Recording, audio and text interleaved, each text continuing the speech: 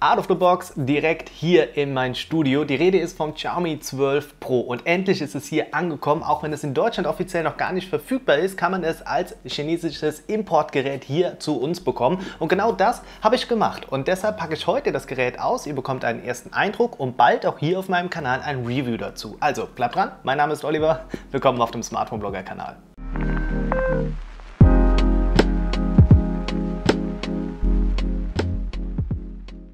Damit willkommen zurück. Cool, dass ihr wieder mit dabei seid. Ich habe für euch das Xiaomi 12 Pro ausgepackt und was soll ich sagen? Ach, äh, das verrate ich euch jetzt gleich. Etwas, was ich aber auch ausgepackt habe, ist das Xiaomi 12. Und genau dazu bekommt ihr auch ein Unboxing mit meinen ersten Eindrücken zu diesem Gerät hier auf meinem Kanal. Und zu beiden Geräten wird es natürlich ein Review geben. Also das allein ist, glaube ich, Grund genug, diesen Kanal zu abonnieren, die Glocke zu setzen und dann verpasst ihr in Zukunft nichts mehr. Also ran an die Tassen und ähm, wir schauen uns jetzt mal das 12 Pro an.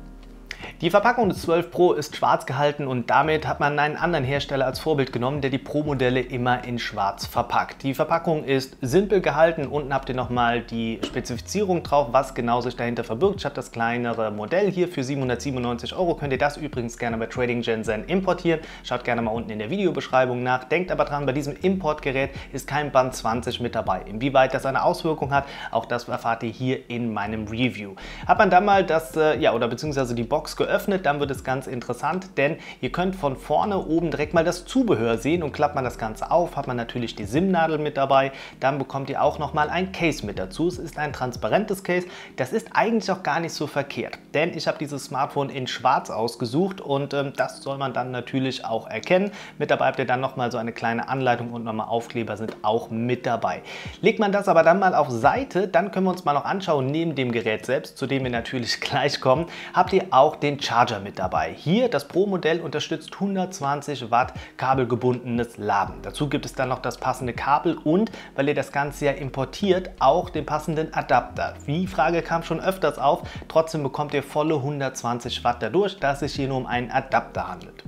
Interessant ist hier dann übrigens auch zu erwähnen, dass es in diesem Jahr dann auch das Netzteil mit dabei gibt. Es gibt ja auch hier andere Hersteller, die das Netzteil nicht mit anbieten und eines dieser super Features gerade des Pro-Modells sind ja diese 120 Watt, wie wir sie auch im 11T Pro bekommen haben beispielsweise und dann braucht man natürlich auch das passende Netzteil dazu. Das liefert Xiaomi hier also auch mit. Jetzt haben wir aber lange genug um den heißen Brei drumherum geredet, denn packen wir das Gerät endlich mal aus und was soll ich sagen?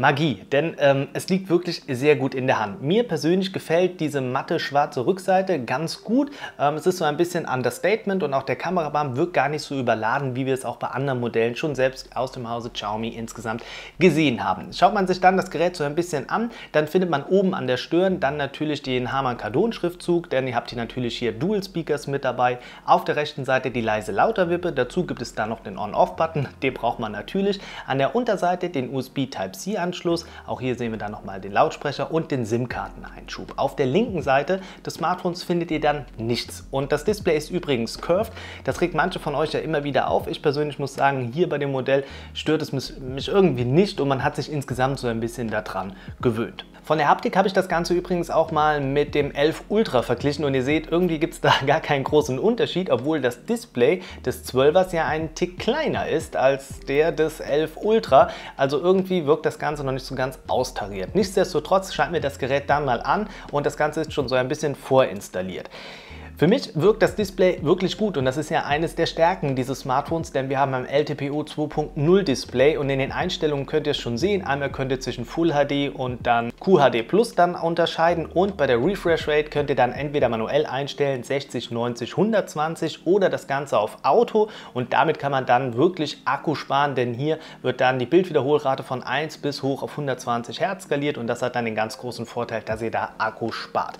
Was ich mir auch noch mit euch angeschaut habe, sind dann die Specs Specs. Ihr seht es hier nochmal, ich habe das Ganze ja wirklich in der kleineren Version, was aber nicht wirklich schlimm ist. Natürlich perspektivisch würde ich immer die größere Version mit mehr RAM empfehlen. Für diesen Testdurchlauf ist das jetzt aber auch gar nicht so verkehrt, denn es geht einfach darum, diese Performance zu erleben mit dem Qualcomm oder beziehungsweise mit dem Snapdragon 8 Gen 1, den wir hier in dem Smartphone verbaut haben, dürfte das auch wirklich der Fall sein. Insgesamt, wenn man das Smartphone in der Hand hat, fühlt es sich wirklich wertig an, so wie es natürlich auch sein soll. Ach ja, und fast hätte ich es vergessen, die MIUI 13 ist ja auch mit an Bord. Das Smartphone kann man dann auf Englisch oder auf Chinesisch nutzen. Also Englisch kommt hier natürlich dann für mich in Frage und ich bin wirklich gespannt, wie sich die MIUI 13 insgesamt schlägt.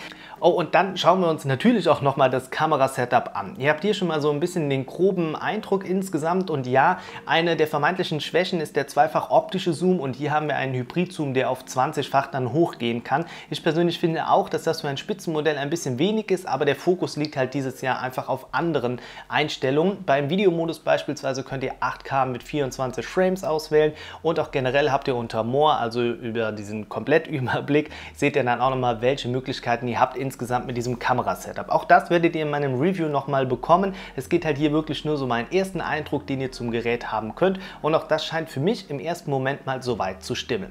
Jetzt seid ihr gefragt, was interessiert euch an diesem Smartphone? Was soll ich noch mit ins Review reinbauen? Ähm, was sind eure speziellen Fragen? Schreibt das gerne mal unten in die Kommentare, denn ich bin gespannt, wo euer Schwerpunkt bei diesem Pro-Modell einfach liegt insgesamt. In diesem Sinne sage ich vielen Dank, dass ihr mit dabei gewesen seid. Bleibt gesund, macht's gut, bis demnächst, euer Smartphone-Blogger.